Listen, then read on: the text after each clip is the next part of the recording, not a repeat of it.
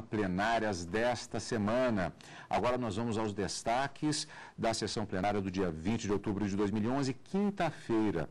Por unanimidade, o Supremo Tribunal Federal suspendeu por meio de liminar a validade imediata do aumento da alíquota do Imposto sobre Produtos Industrializados, o IPI, para carros importados. Com a decisão, a elevação de até 30% do IPI pode valer a partir do dia 16 de dezembro. A decisão foi tomada durante a análise de uma medida cautelar proposta em ação direta de inconstitucionalidade pelo Partido Democratas, que alegou a inconstitucionalidade do decreto porque, ao dar vigência imediata à nova tabela de incidência do IPI, foi violada a garantia do cidadão de não ser surpreendido com o aumento de tributos. Será que esse âmbito de proteção abarca os aumentos do IPI operados mediante decreto? Sim, e por que sim? Porque o âmbito de proteção do princípio da não surpresa se vincula a situações concretas vivenciadas pelo cidadão contribuinte. Já a Advocacia Geral da União defendeu que não há inconstitucionalidade no decreto, porque a elevação de alíquotas não está sujeita ao princípio da anterioridade nonagesimal, que exige prazo de 90 dias para que sejam alterados ou criados impostos. Quando nós consideramos a, anteri a previsibilidade nonagesimal que a Constituição cita, ela de fato cita sim lei, porque o decreto ele está subordinado a uma margem regulatória previamente determinada que está no fixado decreto 1199. E nesta margem é que o executivo de fato pode operar e para o qual o contribuinte se antecipa. Ele tem como saber que essa margem existe e se preparar com essa realidade, com essa possibilidade de realidade. Todos os ministros acompanharam o voto do relator, ministro Marco Aurélio.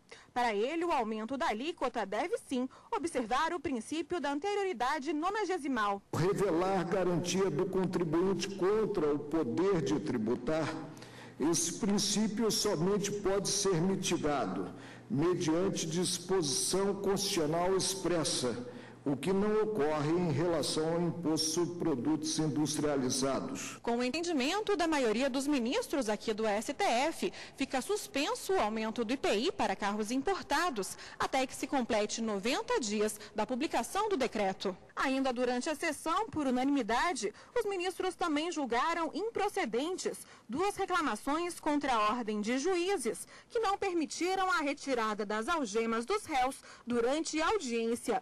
Nos dois casos, foi alegado desrespeito à súmula número 11 do STF, que limita o uso de algemas a casos excepcionais. Para a ministra Carmen Lúcia, relatora dos processos, nos dois casos ficou comprovada a excepcionalidade. E vamos ver os destaques da sessão plenária da quinta-feira, com, começando com o julgamento conjunto de duas reclamações, a reclamação 9.880 e a 8.712, relatoria da ministra Carmen Lúcia. As partes no primeiro processo, Carlos André Lopes Guarilha versus juíza da primeira vara criminal da comarca de Londrina. Aqui uma reclamação com pedido de liminar ajuizada por Carlos André Lopes Guarilha contra ato da juíza que indeferiu o pedido de retirada de algemas do ora reclamante durante audiências realizadas ao longo do processo naquela comarca. comarca.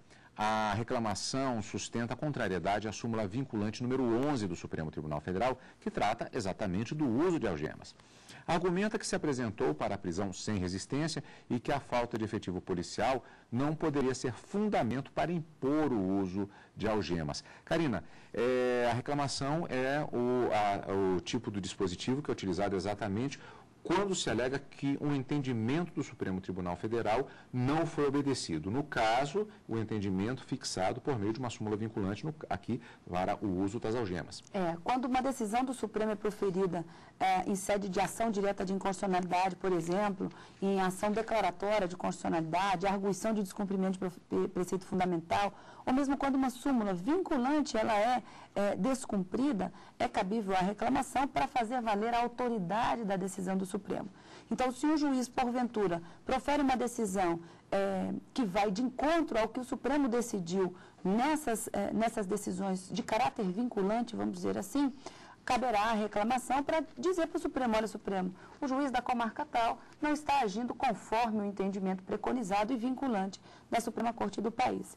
Nesse caso, o que se alegava era que a súmula vinculante referente à utilização de, das algemas durante um determinado ato processual, uma audiência de instrução, não teria sido observada pela juíza que negou a retirada das algemas, embora se alegasse que não haveria nenhum perigo de, nenhum receio de fuga ou de que aquele, aquela pessoa, o acusado, poderia comprometer a própria integridade física ou de pessoas ou de terceiros ou de quem estivesse ali naquele local. Os ministros também, por maioria, entenderam que os argumentos trazidos pelos reclamantes não convenceram e que foi efetivamente, restou justificada a utilização das algemas, já que a súmula vinculante fala da sua utilização de forma excepcionalista, excepcionalíssima, perdão, e de forma justificada pelos juízes em ambas as reclamações, julgando, portanto, as duas improcedentes. Quer dizer, a súmula vinculante, é, reforçando isso que você disse, Karina, é, cria este caráter excepcional para o uso das algemas, mas não veda, não é defeso não. o uso das algemas nas audiências. É, o que não pode, o Supremo, quando discutiu a edição dessa súmula vinculante, foi bastante taxativo. Não podemos fazer com que o uso de algemas seja a regra. Né? E a exceção à sua não utilização é exatamente o contrário. A regra é a não utilização. Quem utiliza as algemas, ou o juiz que determina que o acusado permaneça algemado durante o ato processual, ele deve fazer, ele deve justificar esse ato sob pena daquele ato processual poder vir ser anulado, por exemplo, ou mesmo quem utilizou indevidamente essas algemas seja responsabilizado é, disciplinarmente, administrativamente, é, criminalmente, enfim, há toda uma consequência pelo uso indevido das algemas. Mas nesses dois casos, nessas duas reclamações trazidas, os ministros entenderam que os juízes de ambas as ações que é, alegava-se ter violado a súmula vinculante, agiram corretamente e justificaram a permanência dos acusados algemados durante o ato processual. E é justamente preciso que seja analisado o caso específico, ou melhor, caso a caso, para se saber se aquela situação, se ela se subsume, se ela se encaixa nas previsões, aqui no caso da súmula vinculante número 11. Vamos exatamente a trecho do voto da ministra relatora Carmen Lúcia, que pela leitura das atas das audiências realizadas em pelo menos um dos casos específicos, valendo o mesmo critério de análise também para outra reclamação, havia sim justificativa para o uso das algemas. A decisão, repetimos, válida para duas, as duas reclamações. Vamos ver. A meu ver, a leitura dessas atas evidencia a excepcionalidade da medida, que foi determinada em razão do perigo que o reclamante, sem elas, poderia representar a integridade física daqueles que participavam da audiência se estivessem sem as algemas. A autoridade reclamada considerou expressamente o que previsto na súmula, fez constar formal e motivadamente e, em casos como o presente, o uso decorre da própria fundamentação escrita, tal como se tem em precedente da lavra do ministro Menezes Direito, exatamente no mesmo sentido tal como aqui afirmado, são inumerosíssimas as decisões monocráticas neste sentido. A Procuradoria ressaltou exatamente que havia sido cumprida, pelo que se tem nos autos, a súmula vinculante número 11, razão pela qual, na, na reclamação 98 1080, 9880, eu estou julgando improcedente. Na segunda, que é o, é o mesmo caso, alega-se a mesma situação, o, a, as informações dão conta de que aqui era, era um caso de uma pessoa que reiterava nas suas,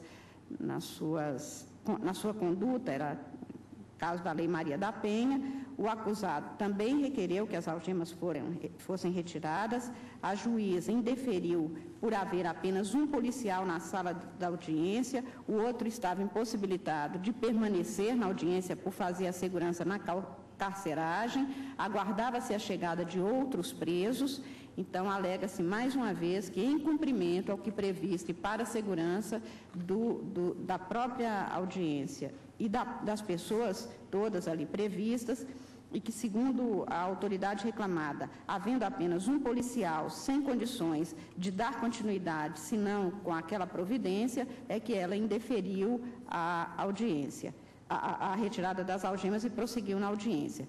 Neste caso, também, como há justificativa com base na própria súmula e a explicação da existência das condições ali previstas, como, como, afirma o Ministério Público, nítido que a magistrada apenas zelou pela ordem dos trabalhos, o fez em cumprimento da súmula e dentro dos limites da razoabilidade e da proporcionalidade. Eu também estou votando no sentido de julgar improcedente a reclamação. O ministro Luiz Fux, que votou logo em seguida, abordou em plenário exatamente a situação que envolveu as audiências em questão, justificando o uso das algemas no caso específico e reforçando o entendimento da relatora. Vamos rever. Apenas a título elucidativo, nesse caso específico da reclamação 8712, o reclamante ele respondia perante o juízo reclamado porque no dia 1 de agosto de 2007 submeteu a sua companheira, que tinha 15 anos à época dos fatos, e seu filho, um bebê de 5 meses, a violentas agressões físicas. E elas vêm descritas, é importante que se frise até para demonstrar a periculosidade do agente a necessidade que se utilizou na época das algemas. Ele amarrou e imobilizou a primeira vítima, essa sua companheira de 15 anos de idade, com fitas crepes, e lhe desferiu socos e golpes com ponta de faca causando-lhe perfurações pelo corpo. Na segunda vítima, que era um bebê de cinco meses, o reclamante queimou a criança com ponta de cigarro. Então, aqui há uma justificativa que, em razão de haver apenas um policial na sala de audiências, sendo que o outro policial estava impossibilitado também permanecer na sala, havia uma notória falta de segurança, porque os demais policiais aguardavam a chegada de presos na carceragem. E ainda esclarece a juíza que esse juizado de violência doméstica funciona fora do foro central da comarca da capital, situado na Rua da Carioca, cuja estrutura eu até conheço, evidentemente ter nascido no Rio de Janeiro, não é a mesma do foro central, onde a segurança é muito mais reforçada. Eu, então, senhor presidente, trazendo também jurisprudência à colação, eu acompanho também a ministra Carmen Lúcia no sentido da, da rejeição, da improcedência, né, ministro? Da reclamação 8712. É, decisão nas duas reclamações, decisão unânime no sentido de que não houve descumprimento da súmula vinculante número 11 do Supremo Tribunal Federal. Outro destaque da sessão plenária da quinta-feira, aqui a questão do IPI de carros importados. Medida cautelar na ação direta de inconstitucionalidade 4661 Relator ministro Marco Aurélio. Partido Democratas versus Presidente da República. Ação direta de inconstitucionalidade com pedido de liminar contra o artigo 16 do Decreto 7.567, agora de 2011, que determinou a imediata entrada em vigor do referido decreto, do mesmo decreto, o qual, dentre outras disposições, alterou a tabela de incidência do IPI, majorando, aumentando as alíquotas incidentes sobre as operações envolvendo veículos automotores. Aqui, especificamente, é amplamente divulgado, sabe-se que a questão dos automóveis importados. Karina, o argumento contra a alteração da alíquota era por causa da não obediência ao princípio da anterioridade nonagesimal. Não é a primeira vez que nós falamos disso. Esse tema, é, como se trata particularmente de direito tributário, ele volta com uma certa frequência. Portanto, vamos falar novamente, inclusive neste caso de grande repercussão. O que é a anterioridade nonagesimal? É, antes disso, seria interessante a gente falar do princípio da anterioridade anual. A Constituição prevê como um direito e uma garantia de todo contribuinte que ele não seja surpreendido com a, a, o aparecimento, o surgimento de um novo tributo da noite para o dia. Então, a regra é de que todo tributo criado ou majorado, a regra, veja, é, num determinado exercício financeiro, em determinado ano, ele somente poderia ser cobrado no ano seguinte. Com a emenda constitucional número 42 de 2003, houve uma alteração é, estabelecendo a Constituição que alguns é, impostos ficariam isentos dessa anterioridade anual, mas estariam sim é, adstritos ao chamado princípio da anterioridade nonagesimal, ou seja, um tributo, um imposto, no caso, criado ou majorado, ou que tivesse a sua alíquota aumentada, ela somente poderia, ele somente poderia ser cobrado, ou esse aumento efetivamente cobrado dos contribuintes, a partir de 90 dias da data da publicação desse aumento ou dessa criação. Nesse caso, entra o IPI, que é uma das hipóteses de observância desse princípio da anterioridade nonagesimal e não da anterioridade ânua, como inclusive o ministro Luiz Fux deixa isso bastante claro no seu voto. Então, o imposto sobre produtos industrializados deve obedecer a este princípio, no sentido de que, uma vez criado esse tributo ou aumentada a sua alíquota, majorada a sua alíquota, ela somente, o, o, a, o orçamento, na verdade, ele somente poderá ser cobrado efetivamente do contribuinte depois de 90 dias, que é o prazo, segundo o ministro Marco Aurélio, que o contribuinte tem para se adequar àquela nova realidade e adaptar o seu orçamento para fazer esse, essa, para ter que arcar com mais essa despesa. Então, os 90 dias seriam fundamentais para o início da cobrança, insisto, desse IPI. O que não aconteceu com relação ao decreto, que previa lá em um dos seus dispositivos que a aplicação e o aumento seria feito a partir da data da publicação do decreto. E contra justamente esse dispositivo é que veio o pedido de medida cautelar na ação direta de inconstitucionalidade. Vamos ao final do voto do ministro relator, ministro Marco Aurélio.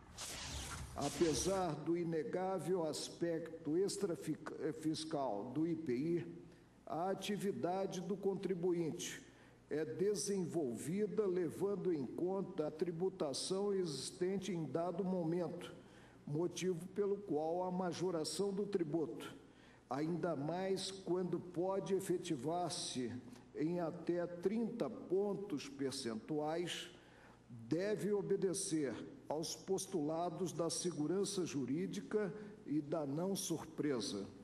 O artigo 10 do Decreto 7.567 de 2011 resultou no aumento da alíquota do referido imposto sobre os produtos industrializados indicados no respectivo anexo 5, sejam eles produzidos no Brasil, sejam no exterior.